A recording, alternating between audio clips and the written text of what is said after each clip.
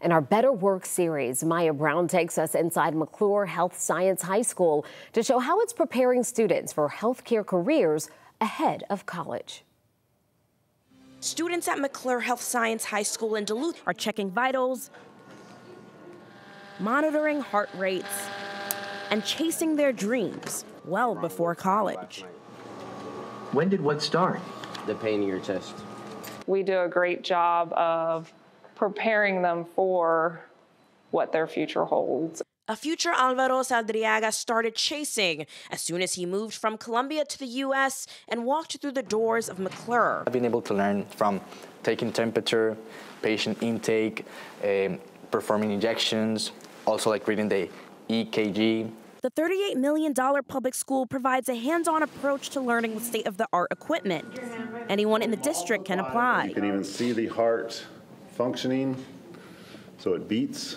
When you take a child or a student and they are getting a chance to put their hands on it and do it. It gives them a chance to interact with it, and they're gaining so much more knowledge. Tanaya Pinkston always knew she wanted to become a pediatric ICU nurse. So McClure has told, uh, basically prepared me just to break down a door. Even if the door is not open, if it's locked, go for it and figure out, find the key for it because you never know what that opportunity has in store for you. At McClure, students can begin six career paths, from clinical work like patient care to support positions in public health.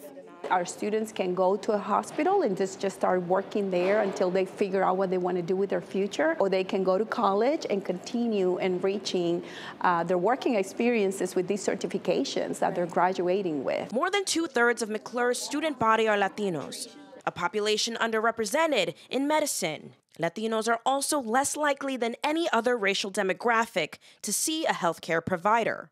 Principal Hernandez says her students will be able to help close the racial gap. Students are going to be able to not just provide a service in a, another language, but also understand culturally where patients or uh, communities are coming from. With his healthcare training, Saldarriaga got into Georgia Tech and will major in industrial engineering to help improve patient care. Since I came here, I was always like, all the things I did, all the experiences I had were like working to, to achieve this. Well, more than 1,200 students were enrolled at McClure this school year. Right now, it's still accepting students from anywhere in the Gwinnett County School District for the 2025-2026 school year. To see other job programs and resources featured in our Better Work series, head over to our website, 11alive.com slash betterwork, sponsored by CareerRise.